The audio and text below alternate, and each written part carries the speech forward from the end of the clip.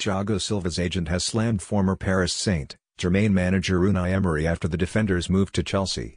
Paulo Tonietto has reportedly claimed that the club lost two years of progress when they appointed Emery back in 2016.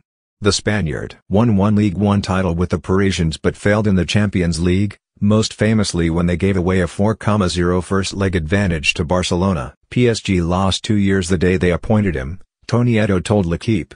His problem is that he has trouble managing the stars. In Paris, it was the players who solved the situation after Neymar and Edinson Cavani clashed on field over a penalty. When he went to Arsenal, the first player he got angry with was Mesut Ozil has a good coach to play in the Europa League, not the Champions League. The suit was too big for him. He was a terrible coach for PSG.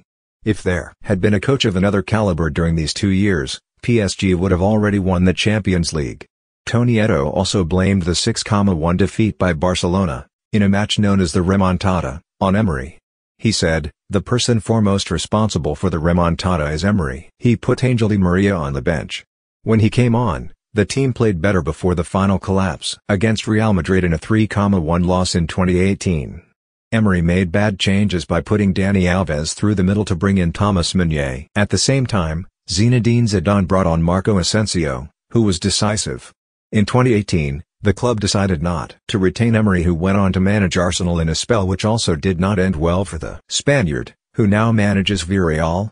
Under Thomas Tuchel, PSG made the final of this year's Champions League, only to fall 1-0 in the final against Bayern Munich. Tuchel campaigned for Silva to remain with the French champions but the Brazil international decided not to renew his deal and moved to Chelsea.